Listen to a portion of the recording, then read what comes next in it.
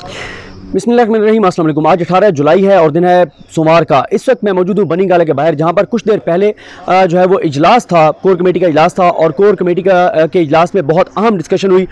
उसमें अंदरूनी कहानी मैं आपके सामने रखता हूँ, क्या गुफ्तु हुई क्या इमरान खान साहब को मशवरे दिए गए, कुछ चीज़ें बहुत अहम है जो आपके सामने रखना बहुत ज़रूरी है। एक तो ज़ाहिर है, अभी फैसला ये हुआ है कि तहरीक इंसाफ जो है, वो पंजाब में हुकूमत बनाएगी, जिसके ज़ाहिर है सौ फ़ीसद बनती है उनकी हुकूमत, लेकिन अभी भी बार खदशात हैं कि कोई खेल ना खेला जाए, इसलिए चौकस रहना होगा और नज़र रखनी होगी कि कोई ऐसा खेल ना खेला जाए कि कोई और हर्डल जो है वो पैदा की जाए। क्योंकि उसकी वजह यह है कि तहरीक इंसाफ जैसे ही हुकूमत बनाएगी अब तुर्क का पत्ता इमरान खान के हाथ में इमरान खान सरप्राइज़ दे सकते हैं। अगर इमरान खान पंजाबी असम्बली तोड़ देते हैं के पी की असम्बली तोड़ देते हैं तो बड़ा मुश्किल हो जाएगा।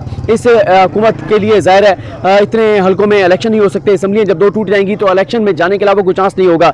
लेकिन कुछ इकदाम हैं जो पहले करने ज़रूरी हैं। और दूसरा, तहरीक इंसाफ ये भी समझती है कि अगर वो पंजाब में हुकूमत बना लेंगे तो जैसे ही वो पंजाब में हुकूमत बनाएँगे तो उसके बाद इस वफाकी हुकूमत के पास इसके अलावा कोई ऑप्शन नहीं होगा कि वो जो है, वो इलेक्शन में जाएँ। उसकी वजह यह है कि 26 किलोमीटर के इस्लामाबाद को अपने पास रख कर क्या करेगी मुस्लिम लीग नून? और इसलिए अभी हुकूमत बनाएँगे और हुकूमत बनाने के बाद कुछ और चीज़ें, वो मैं आपके सामने रखता हूँ। एक तो इमरान खान साहब जो है वो जो पच्चीस मई को तहरीक इंसाफ के कारकुनान पर और तहरीक इंसाफ के साथ निकलने वाले लोगों पर जो जुल्म किया गया, जो तशद किया गया बरबरीत की गई उसके ऊपर इमरान खान कोई कंप्रोमाइज़ करने को तैयार नहीं है।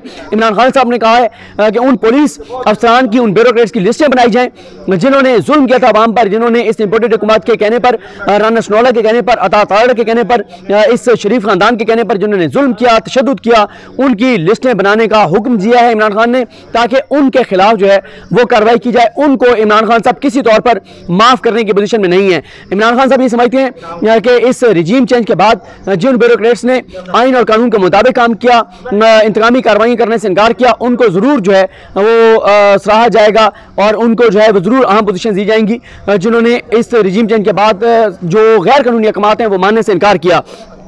इसके बाद मशरा दिया गया कौमी असम्बली में जाने के हवाले से, लेकिन इमरान खान साहब का यही फैसला है कि हम किसी सूरत भी कौमी असम्बली में नहीं जाएँगे और हम जो है वो आम इंतबात अगले उनकी कहा गया कि तैयारी शुरू कर दें, जो हल्के कमज़ोर हैं, वहाँ पर पूरा ज़ोर लगाएँ और उन्होंने कहा कि इलेक्शन की तैयारी करें, हम इलेक्शन की तरफ़ जा रहे हैं, किसी वक्त भी इलेक्शन अनाउंस हो सकता है। इमरान खान साहब ने यह भी कहा है कि तंजीम को अब एक्टिव किया जाएगा, उनको कमी फील हुई है। वो ये कहते हैं कि जो हम इलेक्शन जीते हैं, वो आवाम की ताकत से जीते हैं, वो वेव थी वो हमारा बयानिया चला है, लोग हमारे साथ निकले हैं, लेकिन हमारी तंजीम कमज़ोर है, और इसलिए तंजीम को एक्टिव करना होगा, तंजीम को बेहतर बनाना होगा, ये फैसला है इमरान खान साहब का। उसके बाद इमरान खान साहब ने कहा है कि जो राना सनौला ने जो जुल्म किए हैं उसको, उसका जो जो हमसे हो सकेगा वो हम जो है वो करेंगे। उसके बाद जो झूठे मुकदमात बनाए गए हैं, उन मुकदमात को ख़त्म किया जाएगा जो सियासी बेसिस पर पंजाब हुकूमत ने कायम किए। उसके अलावा जो है चीफ इलेक्शन कमिश्नर को हटाने के हवाले से तरीके इंसाफ किसी भी हद तक जाएगी। वैसे तो इमरान खान साहब ने उनसे इसी का मुतालबा भी किया है। इमरान खान कहते हैं कि वो मरीम नवाज़ साहब से मिलते रहे वो हमजा शबाज साहब से मिलते रहे कोई कसर नहीं छोड़ी गई इमरान खान साहब, कहते हैं कि उनको हराने की। इमरान खान साहब एक और बात भी कह रहे हैं वो उन्होंने इस तासर को रद्द किया है कि शायद इमरान खान के कोई बैकडोर इस्टेब्लिशमेंट से रबते हैं और शायद इसलिए सीटें इमरान खान जीते हैं तो इस तासर को इमरान खान ने रद्द किया है। इमरान खान से ये समझते हैं कि तहरीक इंसाफ को हराने के लिए प्री पोल रिगिंग की गई है, पूरा ज़ोर लगाया गया है। तमाम हथकंडे इस्तेमाल किए गए हैं, लेकिन अवामी ताकत की वजह से जो है वो तहरीक इंसाफ जीती है और बहुत से लोग बेबास हुए हैं कि वो अपना ज़ोर लगाकर भी तहरीक इंसाफ को नहीं हरा सके। तो वो ये समझते हैं कि जो है वो इसमें प्री पोल रिगिंग बहुत ज़्यादा की गई है। सरकारी मशीनरी का इस्तेमाल, पैसे का इस्तेमाल, धांधली, ये सारी चीज़ें की गई हैं। इमरान खान साहब एक और बात कहते हैं। वो ये कहते हैं कि देखें तवक्ल जब हो, ईमान जब हो फेथ जब हो, अल्लाह ताला पर भरोसा हो तो फिर आपको किसी कुत के साथ होने की ज़रूरत नहीं होती। अवामी ताकत आपके साथ होती है जब अवामी ताकत आपके साथ होती है तो फिर आपको कोई भी शिकस्त नहीं दे सकता। ये कहना है इमरान खान साहब का। इमरान खान साहब ने इसके बाद ये कहा है कि एक और चीज़ बहुत अहम है। बहरहाल, ये पार्टी को हिदायत दी गई है कि इस्टेब्लिशमेंट को टारगेट ना किया जाए और इस्टेब्लिशमेंट को जो है, ये तासर ना दिया जाए कि इस्टेब्लिशमेंट को बहुत ज़्यादा टारगेट करिए तरीके साहब। ये ज़रूर कहा गया है कि इस्टेब्लिशमेंट को जो है वो टारगेट ना किया जाए।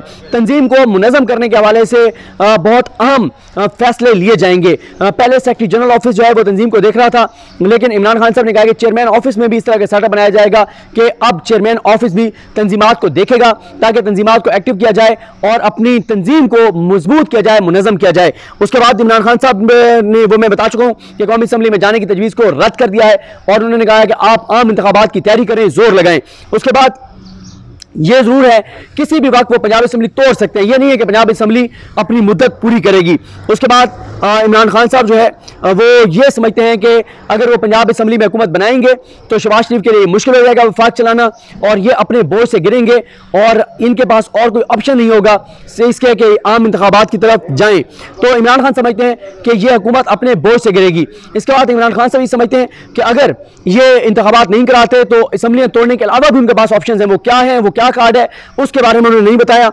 और इसमें यह भी हो सकता है कि शायद लॉन्ग मार्च भी किया जा सकता है। ज़ाहिर है लॉन्ग मार्च अगर करेंगे तो अब पंजाब हुकूमत उनके पास है और के पी के असम्बली के पी की हुकूमत भी उनके पास है तो अब वो जुल्म तशद जबर नहीं होगा, जो पहले किया गया है। उसके बाद ये है कि सिंध पर जो है वो फोकस रखा जाएगा। कराची पर फोकस रखा जाएगा। इमरान खान साहब कराची जाएँगे। इमरान खान साहब कराची बैठेंगे। क्योंकि कराची जो है अगर पंजाब में ये हालात हैं, पंजाब में ये सूरत हाल है कि मुस्लिम लीग नून को सेंट्रल पंजाब से शिकस्त हो रही है, जनूबी पंजाब में जहाँ तगड़े खानदान उनके साथ थे, उनको शिकस्त हो रही है तो फिर कराची तो पढ़े लिखे लोगों का शहर है।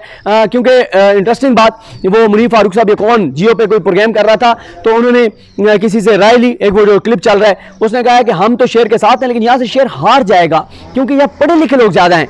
तो ये एक तासर है कि जहाँ पे पढ़े लिखे लोग ज़्यादा होंगे वहाँ पे तरीके इंसाफ को नहीं शिकायत दी जा सकती तरीके इंसाफ को नहीं हराया जा सकता। तो इसलिए कराची तो फिर ज़ाहिर है वो शहर है, जो पढ़े लिखे लोगों का शहर है। तो कराची से बहरल जो है वो कराची में इमरान खान साहब एक्टिव होंगे, और कराची में वाज तौर पर नज़र आ रहा है कि अब एम के एम का सफाया होगा। एम के एम का जो किरदार रहा है एम के एम ने पीपल्स पार्टी के साथ हाथ मिलाया है, मुहाजरों के हकूक की बात की है, कराची वालों के हकूक की बात की है, लेकिन एम के एम को देखें, अभी कराची में बारिशें आई जो कराची की हालत हुई, दो करोड़ का शहर, इतनी तादाद में तो मुल्क हुआ करते हैं, जितनी तादाद का एक शहर है। लेकिन उस शहर के साथ जो किया गया, जो डूब गया, पूरा आधा शहर डूब गया, लोगों का अरबों रुपए का नुकसान हुआ। जिस तरह से वहाँ पे चाइना कटिंग हो कब्जों की ज़मीनें हो गैर कानूनी तमीरत हो, नालों के ऊपर तजावजात हो, जिस तरह से कराची का हशर नशर कर दिया गया है एम के एम खामोश रही है, क्योंकि एम के एम इस वक्त जो है वो इकतदार में हिस्सेदार है और एम को कराची के लोग अब किसी सूरत भी वोट लगता यही है कि नहीं देंगे, क्योंकि एम के एम ने कराची वालों के हकूक को बेचा है, कराची वालों के नाम को बेचा है, मुहाजरों के नाम को बेचा है, उनके हकूक के नाम पर सौदेबाजी किया है, इकतदार में हिस्सा लिया है और आवाम की बात नहीं की। तो इसलिए सूरत हाल एम के टफ होगी। इसी दौरान जब इस तरह की टफ सूरत हाल है और बयानी इमरान खान का बिक रहा है तो अब इमरान खान कराची में बैठेंगे और वो जमान पार्क में जाकर बैठा करेंगे, पंजाब को फोकस करेंगे, कराची को फोकस करेंगे और कराची कराची में भी और सिंध में भी अपनी हुकूमत, कराची में तो ऑलरेडी उनके पास बड़ी अक्सरियत है, लेकिन अंदरून सिंध को टारगेट करेंगे, सिंध को टारगेट करेंगे और कोशिश करेंगे कि सिंध में भी अब पीटीआई जो है वो अक्सरियत ले और वहाँ पर भी पीटीआई उसको पीपल्स पार्टी को टफ टाइम दे। तो बहरहाल ये सूरत हाल है। ये वो पॉइंट्स हैं जो कि डिस्कस हुए हैं। कोर कमेटी इजलास में जो वैसे तो बहुत लंबी थी। बहुत इमरान खान साहब ने लंबी गुफ्तु किया है। कुछ पॉइंट शायद रह भी गए अगर रह गए हुए तो वो मैं इंशाल्लाह नेक्स्ट इस वीडियो में आपके सामने रखूँगा। लेकिन ये कुछ आम पॉइंट्स थे जो मुख्तर जामे, मगर जामे अंदाज में मैंने आपके सामने रख दिया है। मुझे अपनी दुआ में याद रखें। और इसके बाद एक और चीज़ आपको बताऊँगा। लीगल टीम की इमरान खान साहब के साथ मुलाकात हुई है। लीगल कमेटी की आ, जो वकला हैं उनकी मुलाकात हुई है। वो बहुत आम था। क्यों आम था? क्या था? उस पर इंशाल्लाह नेक्स्ट वीडियो में आपके साथ बात करूँगा। मुझे अपनी दो में याद रखें। लकीम हम सब का नासर अल्लाह हाफिज़।